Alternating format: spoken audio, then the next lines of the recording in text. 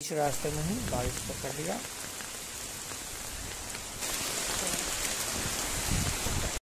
नमस्कार, आप सभी का स्वागत है फिर से एक नए वीडियो में। तो आज हो गया नौ सितंबर 2023 तो 9 सितंबर और 10 सितंबर को दिल्ली में टी ट्वेंटी शिखर सम्मेलन का आयोजन किया जा रहा है, जिसका मेजबानी अपना देश भारत कर रहा है।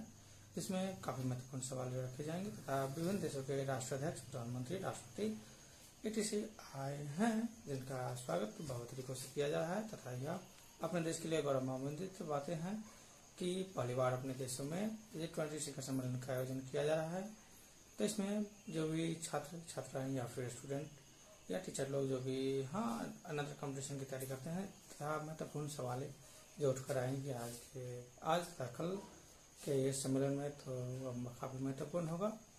तथा यह भी चर्चा रहेगी कि इनके कार्यकाल में यह जी ट्वेंटी शिखर सम्मेलन का आयोजन अपने देश में किया गया तथा कौन कौन से देश से प्रधानमंत्री, राष्ट्रपति या फिर राष्ट्राध्यक्ष आए तथा क्या क्या बातें हुई तो फिर आज यह दो दिन बड़ी ही महत्वपूर्ण है तथा हाँ कामना करते हैं कि यह अच्छी तरह से जी ट्वेंटी शिखर सम्मेलन निपट जाए तो उसके बाद फिर मिलते हैं आज का ट्रेवल ब्लॉग्स में थोड़े समय में।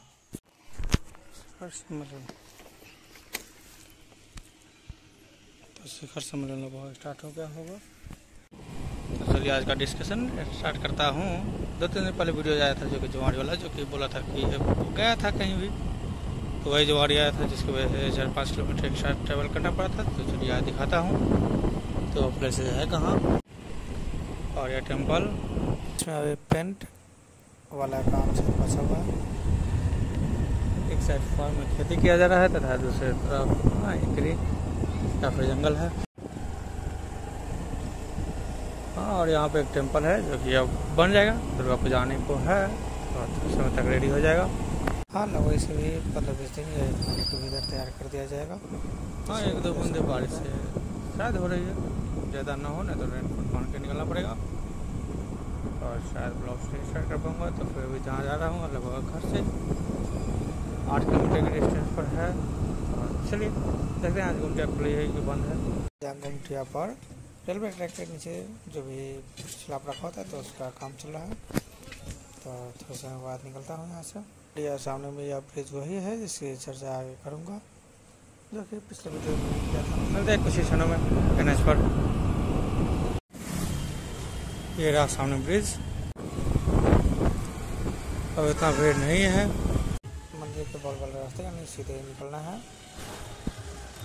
इस पर एन एच पर अभी काफ़ी कम गाड़ियाँ गुजरती हैं शायद इवनिंग में ज़्यादा गुजरती है तो फिर हाँ मंदिर में डायरेक्ट से निकलता हूँ। तो यहाँ पर लेफ़्ट राइट देखते हुए आगे निकल रहा हूँ। तो फिर चलिए आगे बने रहे। ये नदी एंड सड़क के दोनों किनारे पर सड़कें हैं जो कि यह दूसरी तरफ़ चला जाता है एंड वो गाँव में ही सिमट जाता है। एंड इस साल पानी उतना ज़्यादा नहीं है जितना उस साल था। तो उस समय भी सेम वर्क था तो हाँ यह बात दो हज़ार तेरह की बात है, दो हज़ार दस दस साल पहले आया था। जस्ट आगे ये रहा ब्रिज जो कि पहले उस समय नहीं पता था, क्योंकि यह बात है दस साल पहले की बात है। क्योंकि हाँ यह एक दूसरे को जोड़ती है। ब्रिज का रिकॉर्ड हाँ फोकस नहीं दे रहा था इसलिए दिखाता हूँ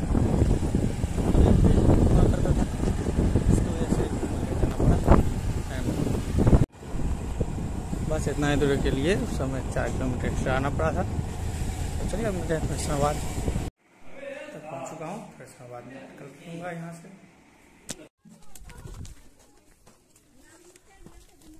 तब तो यहाँ से थोड़ा बहुत बीज ले लेता हूँ फार्म के लिए। हाँ जो कि यहाँ पे काफ़ी सारे बीज बोया जाता है। एंड इसके जो खाली बिछी बिछी हाँ वैसे छोड़ सकते हैं तो आप बहुत भीड़ है। मार्केट में थोड़ा बहुत बारिश हो रहा था, इधर नहीं हो रहा है। हाँ यदि अगर थोड़ा बहुत ज़्यादा हुआ था वातावरण पहनूँगा नहीं तो नहीं पहनूँगा थोड़ा समय बाद घर पहुँचता हूँ। चाहे क्योंकि बारिश होगा, लेकिन इतनी ज़्यादा बारिश का पहना दिया तो फिर बारिश बहुत बरसेगी यदि बरसा तो फिर हाँ ब्लॉक में देखने को मिलेगा। आज फिर बारिश से पकड़ लिया काफ़ी हाँ आधा घंटे से बरसा है देख सकते हैं।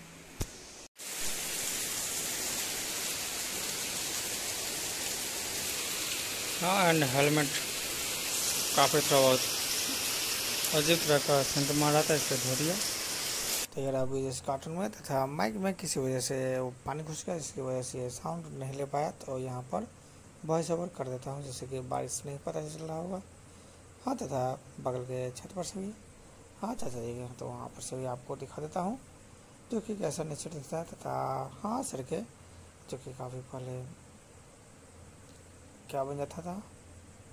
छोटी नहर बन जाता था, जो कि काफ़ी काफ़ी तारीफ़ नहीं रह सकता था। हाँ अब लोगों को आने जाने में काफ़ी दिक्कतें होता था। तथा यह घर के पीछे का फार्म जहाँ पे काफ़ी सारे पानी लग चुका है।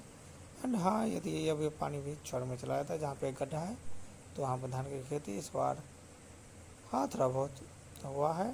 तो चलिए, देखिए। से टॉप फ्लोर पर से टॉप फ्लोर से जस्ट नीचे वाला फ्लोर पर से हाँ गाँव का दृश्य तथा विलेज का दृश्य जो कि इसमें हाँ जो भी कन्वर्सेशन था, हम दोनों भाइयों के बीच में तो फिर वह नहीं रिकॉर्ड हो पाया, क्योंकि माइक में पानी किसी वजह से चला गया हुआ तथा यहाँ पर सड़क के ऊपर थोड़ा बहुत पानी लगा हुआ है। एंड हाँ थोड़ा बहुत मिट्टी का जो भूस्खलन होता है, यानी मिट्टी बाहर के चला जाता है, जहाँ पर यदि अगर जंगल रहता है तो फिर वह मिट्टी नहीं आगे जाता है। तो फिर चलिए आगे आप बने रहे। काफ़ी ब्लॉग्स आज का लंबा हो जाएगा। हाँ थोड़ा बहुत ज़्यादा कुछ भी था जो देखिए, अब घर के बगल वाले चौक का है। तो फिर इसके बाद फिर से बाद ब्लॉग्स को बंद करता हूँ।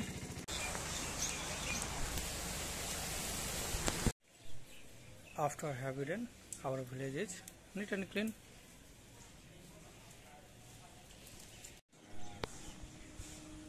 ये रहा खेतों का हाल एंड पेड़ पौधे।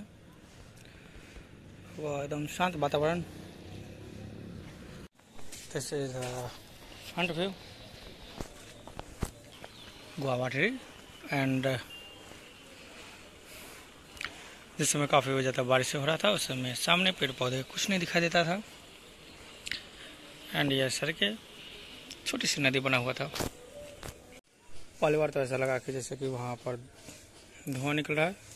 तो शायद किसी के घर किचन लेकिन फिर याद आया कि वहाँ पर तो होटल है। तो चलिए, यह रहा यह रहा शाम का लास्ट व्यू एंड इसके बाद मिलते हैं कल। धन्यवाद।